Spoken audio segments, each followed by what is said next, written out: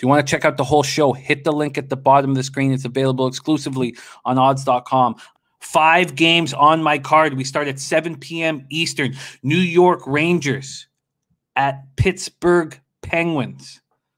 I'm on the Rangers minus one. Let's pull up the market moves just so everybody is on the same page. I've already locked in my lines. Here we go. For the Rangers Penguins game, the Rangers total is at six and a half. That hasn't really moved. It's slightly juiced to the over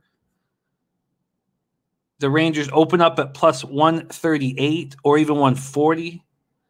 They're down to plus 125. I locked them in at plus 130 on the money line, but I took them on the minus one line.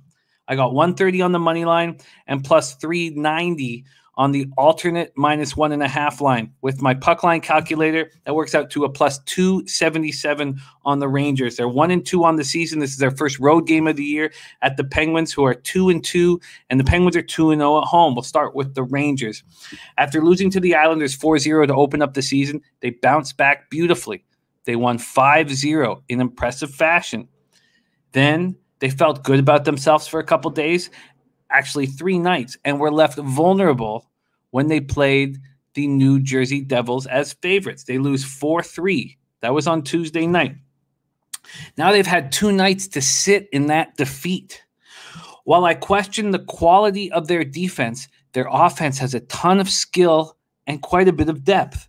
Artemi Panarin and Pavel Buchnevich have started the year strong. They have two goals and two assists each. Mika Zibanejad is dealing with both upper body and lower body injuries, but David Quinn believes he's ready to go, and he's a key cog as a number one line centerman on this team.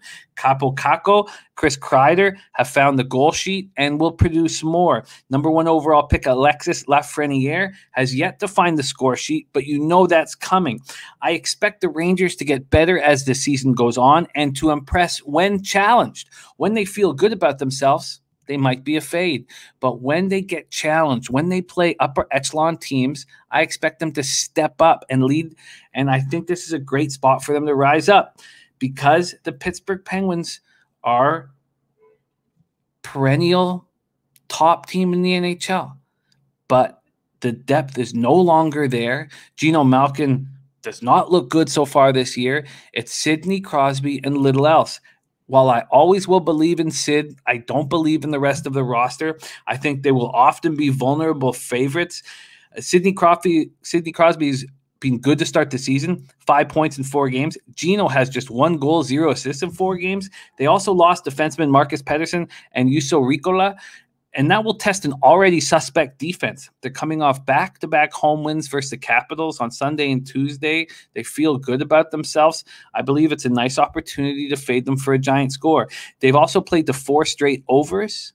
And while that may continue, I'm staying off the total.